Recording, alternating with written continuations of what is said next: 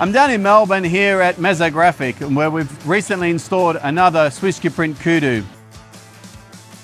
That's the third one that's been installed in Australia.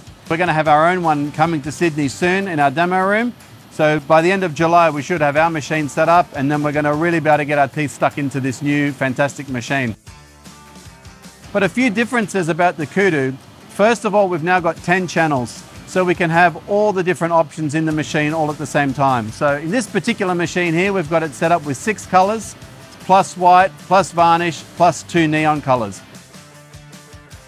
Actually, it's the first machine in the Southern Hemisphere that has neon inks. So we're really excited to be able to see this machine in production.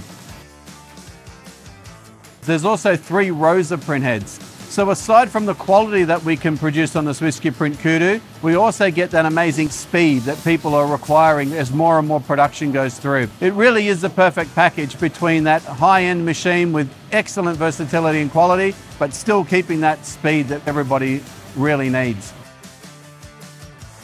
So if you want to find out more about the Kudu, if you want to have your own personal demonstration, get in touch with us. We'd love to have you in and take you right through the machine and show what it's capable of.